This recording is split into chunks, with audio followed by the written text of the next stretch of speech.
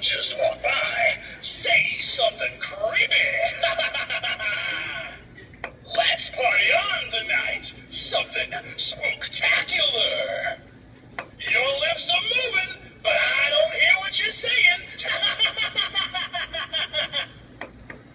How about a nose flash? It's a ghoul's night out. Hello, people. Today's show.